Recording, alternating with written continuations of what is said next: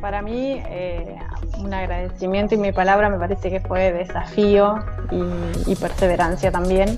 Eh, así que mm, fue un, gran aprendizaje. Agradezco a todos mis compañeros que fueron grandes maestros y a ustedes, Fernando, Alberto, eh, Pablo, a todos. Muchísimas gracias.